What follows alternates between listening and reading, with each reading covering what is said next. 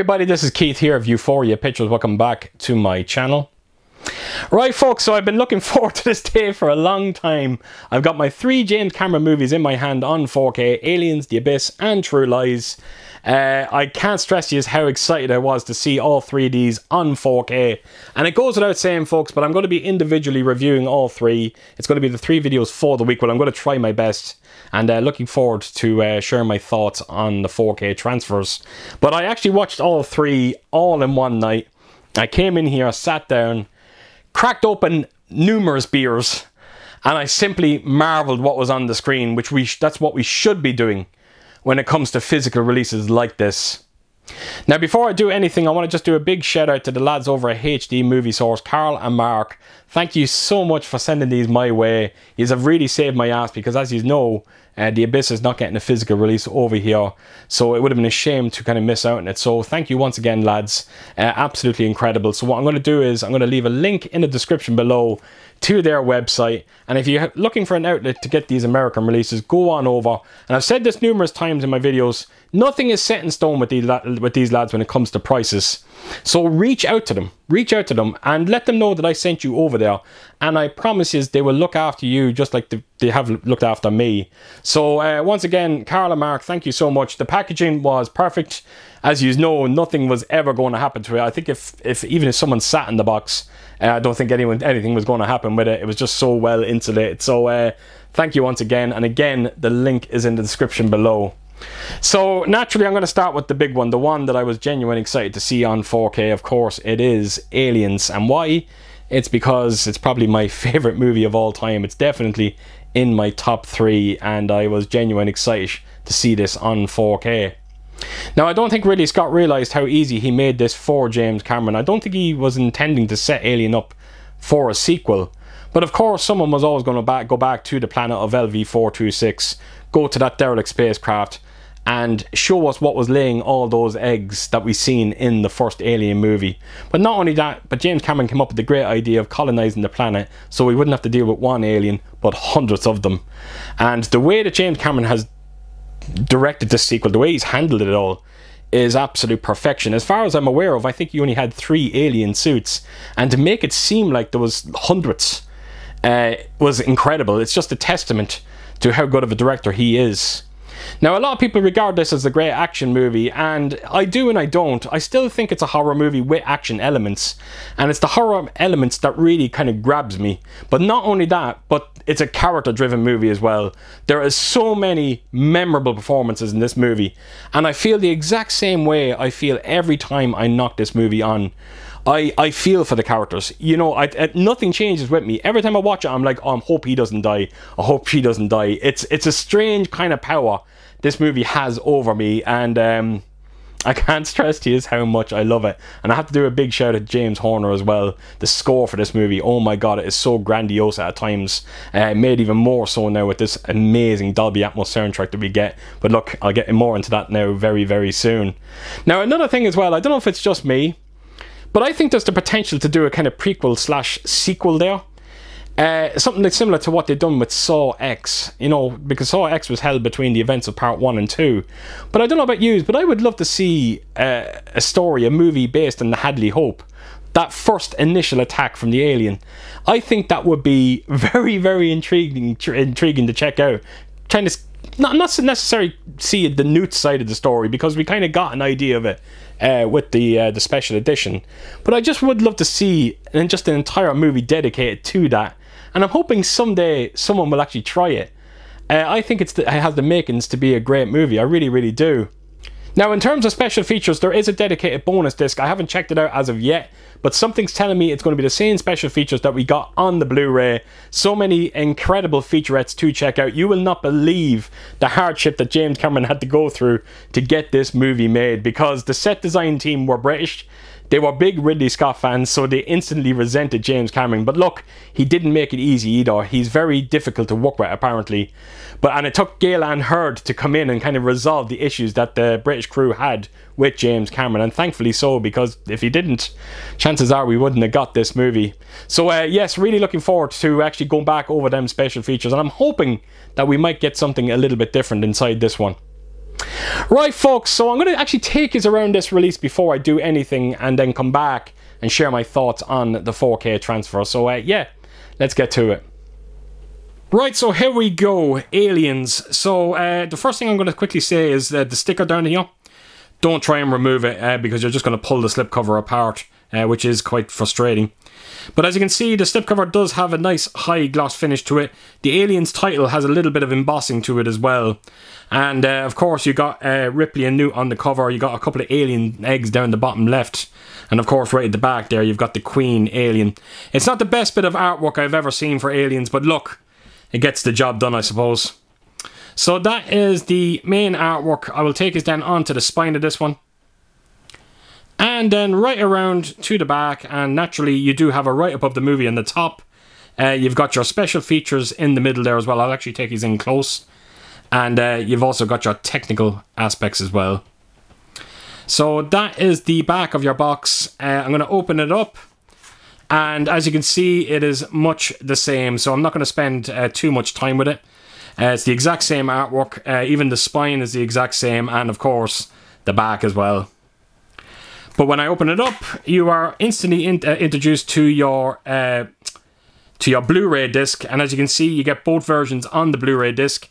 You also get both versions on the 4K disc, and when you remove the 4K disc, uh, you got your bonus disc as well. And uh, you will notice as well that all the disc artwork uh, is very, very different as well. So there you have it, folks. That is just a close look uh, at this release of Aliens. Right, so on to the 4K transfer. So I just wanted to say quickly right at the start here, folks, anyone that's aware of my channel or anyone that's coming over for the first time, look, I'm not an expert when it comes to 4K transfers. I'm really not. But the thing is, I know what looks good and I know what looks bad.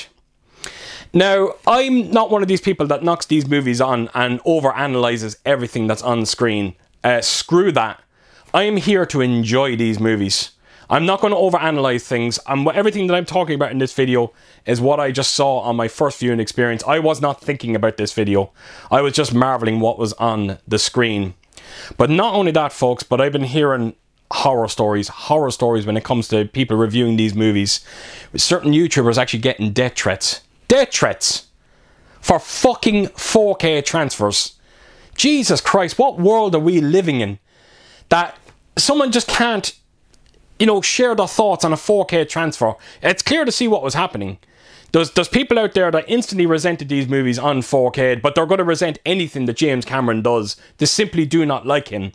And when they went on to reviews where people were praising the 4K picture, they were getting the height of abuse. It is absolutely ridiculous. And I promise you, if any of that shit starts on my channel, you'll be deleted, your comment will be deleted instantly. And I mean it instantly. No one will get a chance to read it. And you'll be blocked from my channel, and rightfully so, because I don't need any of your crap when it comes to my channel. And I don't think any YouTuber needs any of that. So again, folks, apologies. I just needed to get that out there. My God, I in a weird kind of way, I'm kind of just looking forward to the, the these uh, reviews to be over with, so I can just get on with things. I don't know what it is, but these three movies have rattled so many people's cages for some strange reason, and I do not understand why. This is not what 4K is all about. We are meant to be celebrating releases like this on 4K. And uh, there, there is no right or wrong. There's not. If you don't like it, that's fair enough. That's grand. But like, my God, don't attack people for enjoying them, and vice versa. You know, don't, eh, people that enjoyed them, don't be attacking the people that hated them. It just it makes no sense. This is our opinions. We're just putting them across there, and you don't have to listen to it. The only thing I will say is you don't have to listen to the negative, you don't have to listen to the positive. What I will say is take a gamble. Take a gamble and see for yourself. With that said, onto the 4K transfer, and yeah, I thought it was astonishing. I thought it looked incredible. I really, really did. It gave me everything and more. Uh, the, the, the ultimate gift that it gave me was it, it, felt like I was watching Aliens for the first time, and what a gift that is when you consider that it is one of my favorite movies of all time. To actually have that, uh, uh, to actually be able to see it in a new light, it was just, it was special. As a matter of fact, folks, I'm not kidding you. When I finished watching this movie on 4K, I actually contemplated starting it again. That's how good I thought this looked. Now, I just want to address a few things that I heard when it comes to this 4K transfer. A lot of people were talking about the DNR that was implied uh, or applied to this picture. And they were saying that everything was waxy and mannequin like. Now, I'm going to say right now, bullshit. Absolute bullshit. None of that is going on. There might be maybe one scene close to the start of it where uh, Ripley is finding out what happened to her daughter.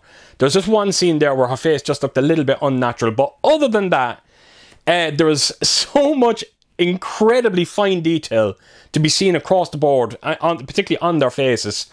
Uh, you will not believe it. There's just so much depth to the picture. It is absolutely incredible. It is incredibly sharp, this. There's no question about it. It does have a modern look to it. People seem to be resenting the fact that it does have a modern look, which is absolutely baffling to me. I can never wrap my head around that because does that mean that he's going to modern movies and going into their 4K transfers instantly resenting them because they look modern. No, it's it's it's it, it looks fantastic. It really really does. Now another thing as well I heard was that the movie has this kind of over processed look. No, I don't see that either. Just check out Scream on Blu-ray and you'll see exactly what over processing looks like and you definitely do not get it with this release.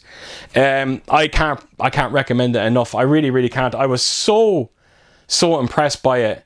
Now the Dolby Vision doesn't it doesn't drastically change things uh, from what I've seen. It does it just adds this refinement to the colors. It just has adds this stability. Uh, there's one scene that I have to single out. I really, really do when it comes to Dolby Vision.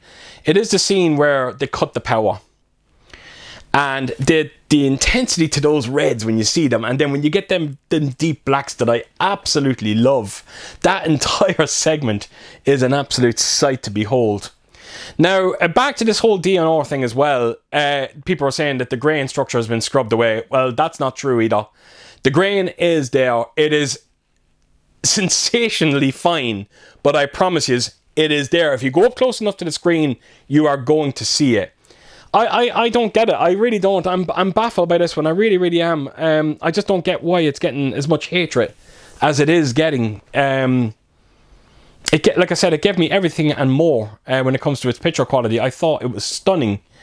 And to top it all off, it comes with a Dolby Atmos soundtrack, and this one is a game changer, particularly for Aliens. It sounds sensational. Now, there's one scene to check out, just the scene where Newt and Ripley encounter the Queen for the first time. That scene, right up to the bit where she does the, you know, the whole punch it, Bishop. That entire segment will tell you everything that you need to know when it comes to its Dolby Atmos soundtrack you get everything in that segment. So much low end bass, and it sounds absolutely incredible. It will rattle your room. Your overhead channels, just listen to the security system. You know that you've got 14 minutes to reach minimum safe distance. That is all coming out of your uh, higher channels, and your rear channels are just constantly going. It never stops. It is so immersive, so atmospheric and the Dolby Atmos captures it all so beautifully well. Not only that, but no matter how chaotic things get, uh, the dialogue never gets drowned out. You can clearly hear everything that's been uh, been said, and then to top that all off, you got the James Horner score playing through the whole thing as well. And like I said at the start of this video, it just feels so grandiose. I have never heard it sound as powerful as it does uh, on this Dolby Atmos soundtrack. Um, yeah, it's incredible. It really, really is. So there you have it, folks. That is my review of Aliens. And as you can see by the video, I am so happy with the results here. I know I seem like I'm a bit overexcited when it comes to this. It's only because I love the movie so much. And to see it get this kind of treatment is very, very special. And look, you don't have to listen to me. You really, really don't. You don't have to listen to the negative side at all uh, either. All I will say is just give it a shot. Give it a shot and see what you think yourself. And hopefully, fingers crossed, you will get as much out of it as I did. Um, I was, I had such a great time. I really, really did, and I really hope you do as well. So there you have it, folks. So as per usual, if you did like what you see here, please do give it a thumbs up, and if you could do, leave a comment down below, and please do share your thoughts in this movie and what did you think of its transfer. And yeah, I hope to see you all again real soon with my next video. Until then, I'll see you soon. Bye bye.